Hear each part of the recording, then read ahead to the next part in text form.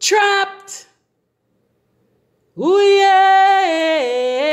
Oops, did I really sing that? Ha. Yeah, but we are oftentimes trapped because of unforgiveness. Yeah. Trapped in our minds, trapped in our spirits, trapped in life because of unforgiveness. Yeah.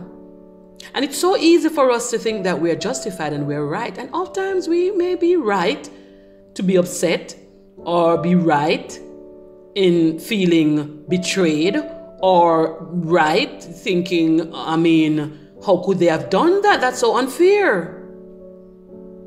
But even though we may be right, and even though it really makes sense why we're mad, and we feel so hurt and disgruntled, and you name it, it still doesn't justify unforgiveness. Because guess what? The Word of God tells us that we should forgive 70 times 7. It is one of God's requirements for us to live a proper, clean, righteous Christian life. We ought to be persons who forgive. So while you feel justified, and why you feel like, yeah, they don't deserve my forgiveness. Yeah, I don't have to talk to them. You know what? I'll just keep my distance. You know what? Until I die. Yup. I know we've all said that. But guess what? It is imperative that we forgive. Because what's interesting, you know, what's interesting is that forgiveness not only frees you, but it also frees the person. I keep saying this word and it's my word. My friend made it up and I run with it. It's called forgiveness. It's a gift to you and a gift to them. Yeah. Because really and truly, when you forgive someone, the weight comes off your shoulder. That's the truth. The weight comes off your shoulders. And also, the person is free to live. The person is, and, and you know what's interesting? Let me tell you what's interesting. Sometimes we are holding people in our hearts and in our pockets and wherever we hold them. And they are living free and happy. And they are enjoying the blessings of the Lord and they are enjoying life. While you, you are bound. You are not free. You cannot get to be. You are trapped in a box, trapped in your mind, trapped in your spirit. You are trapped while those persons are living scotch free, enjoying life, eating, gaining weight, and feeling nice in life.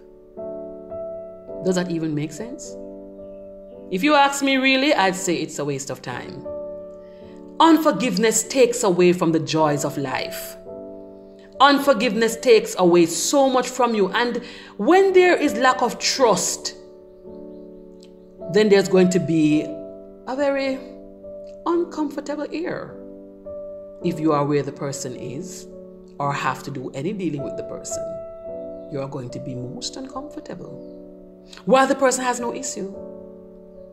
And in the case where the person actually has an issue and knows that they're, un, they're not forgiven, then you too hold the person at ransom. You hold them at ransom and they can't get to live. They can't get to be free. They can't get to be happy. They can't get to enjoy the blessings of the Lord. That is not fair. So here's my suggestion, and it's a humble one. Because I myself grappled with unforgiveness at one point. But the moment I forgave, oh, redemption, redemption came, redemption came. And I was free literally like a bird in the tree. Yeah. And the same can happen for you if you forgive. So, my suggestion to you free your mind, and the peace of God will follow. Forgiveness time. Don't worry about tomorrow. And I know sometimes when you forgive, somebody might see you and say you look like a fool, and probably call you a fool and say, Me, all me, me not forgive them. But them stay there. But here's my word to you forgive. It's a gift to you, and it's a gift to them. Because you don't want to be trapped. Ooh, yeah, eh, eh, eh.